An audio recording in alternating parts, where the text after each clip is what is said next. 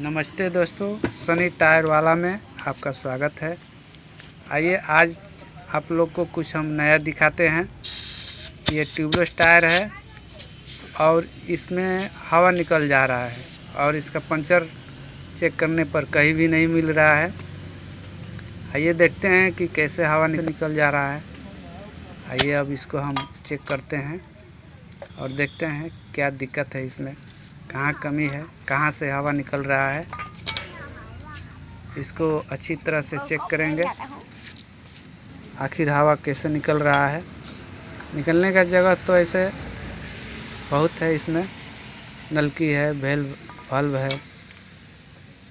Side से ring भी है, रिंग के साइड से जो बीट है, बीट के जगह से भी हवा कभी कभी निकलता है।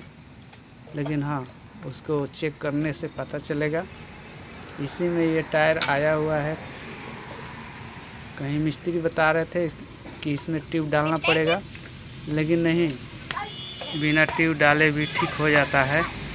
बस आइडिया होना चाहिए और थोड़ा सा बनाने का तरकीब मालूम होना चाहिए। ऐसे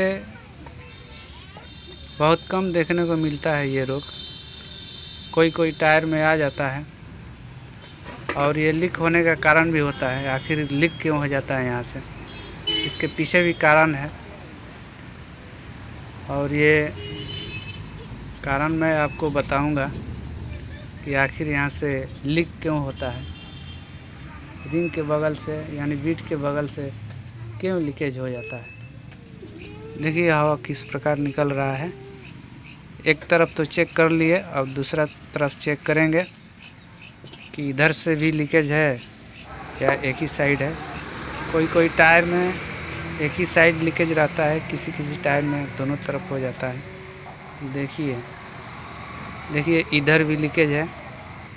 मतलब इस टायर में दोनों बीट की जगह से दोनों तरफ़ लीकेज कर गया है। उस साइड भी है और इस साइड भी है।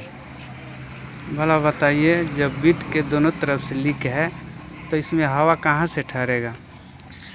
और टायर में पंचर चेक करेंगे तो पंचर तो है नहीं कि मिलेगा। ये तो बीट के साइड से निकल रहा है तो पंचर कहाँ से मिलेगा? इसलिए इसको बारीकी से चेक करें। पानी की मदद से बीट पे डाल के घुमा घुमा के बारीकी से चेक करें और इसका जो ये पंचर है, वो पकड़े। अब इसको मशीन के मदद से इसको बीट को छुड़ाएँगे। दोनों तरफ़ का बीट छुड़ा के, तब इसको अच्छी तरह से सफ़ाई करेंगे। सफ़ाई करके ही इसको बनता है, कोई विशेष इसमें तजुर्बा नहीं लगाना पड़ता है। चलिए, अब आपको हम बताते हैं कि ये बीट की जगह से लीकेज क्यों हो जाता है? कभी कभी टायर में क्या होता है कि हवा कम होने की वजह से, यानी कम हवा पे टायर को लोग चलाते हैं। और जब कम हवा पे टायर चलता है तो टायर दबने लगता है और दबने के उपरांत इसका बीट जो है नीचे से फैलता है। और जब फैलता है और गाड़ी जब चलती है तो उसमें जितना भी नीचे से धूल है या जो छोटे छोटे कण होते हैं मिट्टी का, वो जा जाके रिंग में फंस जाता है। और जब वो रिंग में फंस जाता है तो आगे चल के क्या करते हैं कि आगे चल के हम हवा डलवा लेते हैं और वो कण उसी में अटका रहता है। निकलता नहीं है। हवा के प्रेशर से रिंग के साइड में यानी बीट पे दब जाता है।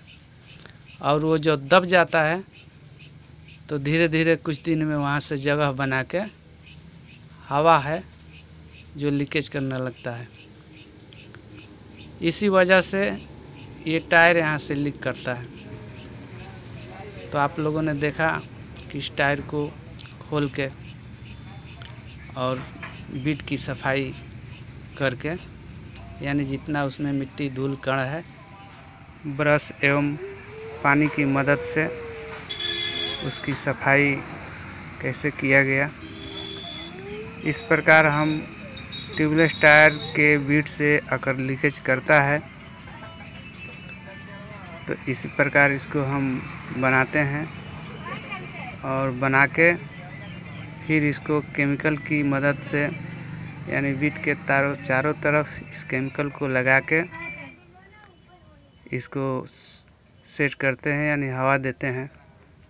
ये केमिकल लगाने से ये होता है कि बीट बैठने में मदद मिलता है बीट जल्दी बैठता है और लीकेज होने की चांस भी नहीं रहता है। इस प्रकार ये अब टायर बन के फोर फीट हो गया है।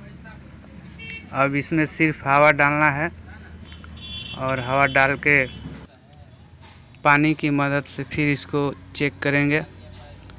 बीट के चारों तरफ़ पानी डाल के धीरे धीरे घुमा के देखेंगे कि लीकेज बंद हुआ है या नहीं।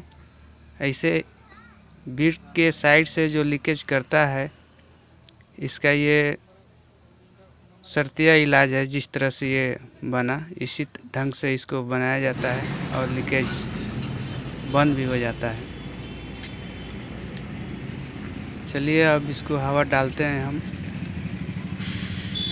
हवा डाल के फिर इसको चेक करके देखते हैं।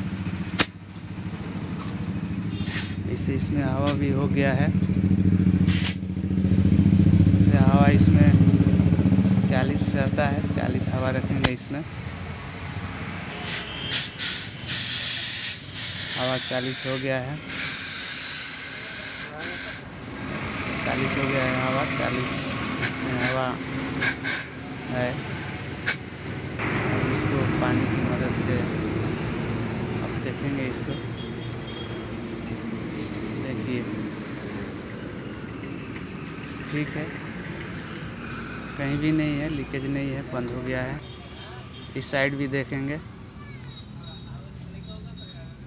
इस साइड भी ठीक है। बिल्कुल ठीक हो गया है फोर फीट हो गया है अब लीकेज नहीं है। अब ये टायर बन के हो गया है रेडी आप लोगों ने इस वीडियो को वॉच किया। बहुत बहुत धन्यवाद। अगर ये वीडियो आप लोग को ज़रा सा भी अच्छी लगी हो तो लाइक कमेंट शेयर एवं चैनल को सब्सक्राइब ज़रूर करें। जय हिंद।